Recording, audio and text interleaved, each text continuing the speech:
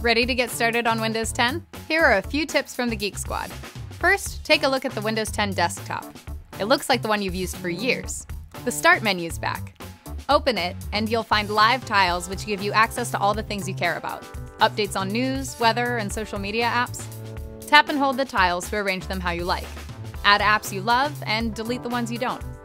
In Windows 10, both modern apps, ones that you'd use in Windows 8, and desktop apps that you'd use on a traditional Windows desktop work all in one place.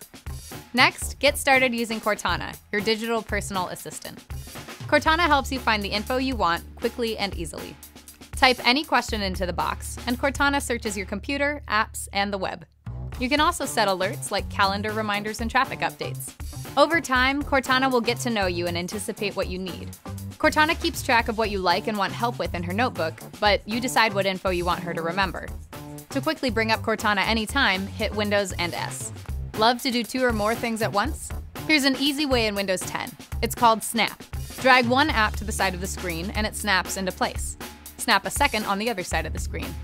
Or drag the apps to each corner and use up to four at once. If you like shortcuts, press Windows and Tab to see your open apps and choose the ones you want to snap. And those are just a few tips to get you started in Windows 10. If you need any more assistance, find us in store or on geeksquad.com. We're here to help.